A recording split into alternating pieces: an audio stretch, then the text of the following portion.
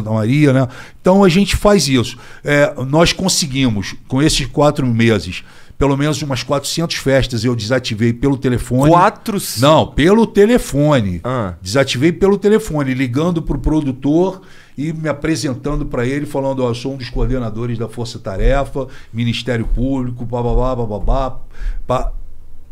Não Tô é te pra rolar. pedindo para não fazer a festa, você vai ter problemas com isso, não sei o que. Não, frota, porra, tá certo. Então faz um banner agora e publica que a festa vai ser adiada, vai ser cancelada. Você faz num outro momento. Ninguém é contra a festa.